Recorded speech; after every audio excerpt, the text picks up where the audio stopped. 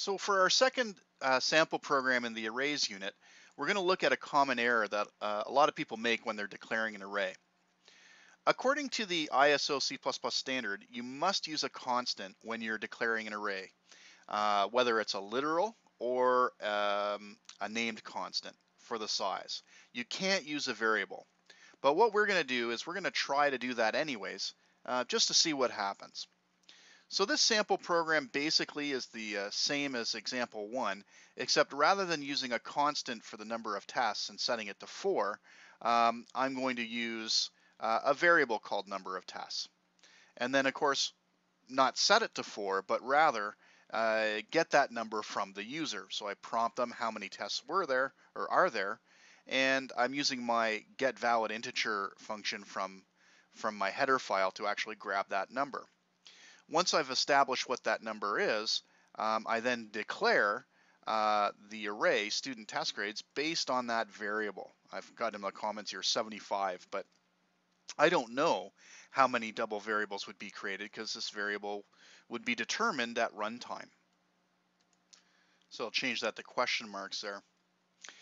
Um, I go through an input loop, and of course the only difference in my input loop is the fact that I use the variable number of tests rather than the constant number of tests. And same deal with my output loop. So I've just replaced where I use the constant with this variable. So we'll go ahead and run that. What you'll notice, if I just move this slightly out of the way, is that I didn't get any errors and I didn't get any warnings at all. How many tests are there? I'll say that there are uh, three tests, and I'll arbitrarily put in some numbers. And it, everything seems to work okay. So it actually works using the compiler that I happen to be using, which is the GCC compiler. The problem is that this is not standard C++. So what could happen is if I am trying to compile this code and particularly this is what's going to give me trouble.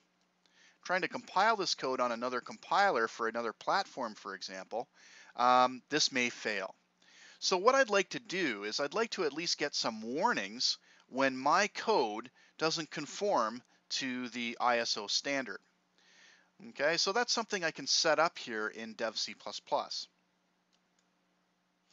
So I go to the Tools menu, I choose Compiler Options, and here in my compiler options, I'm looking for the uh, settings tab.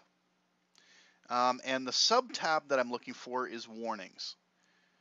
Okay. Uh, about halfway down, I see there's a, an option here for check ISO C slash C++ C++ 0x conformance dash pedantic. That's the option I want to specify. Okay, so I'm going to change that to a yes. Uh, I'm going to try to change it to a yes. There we go. Uh, another option that I might be interested in, but is make all warnings into errors. This will actually stop me from compiling when uh, when I have an error, uh, such as it's not conforming to the standard. Um, I'm not going to be that harsh. I'm going to I'm going to be fine with just a warning. Okay, so I'll say OK to that. Now I'm going to compile the uh, program again. I'll just compile it this time rather than compile and run. And you can see I actually get a warning now. And if I double click on it, it brings me right to where the problem is. And it says ISO C++ forbids variable length array. Okay, so that's a, that's a problem. When we get to the second half of the unit, we're going to be solving this problem using pointers. But for now, I just want you to be aware that you must specify some sort of a constant, either literal or named constant, when you're declaring an array.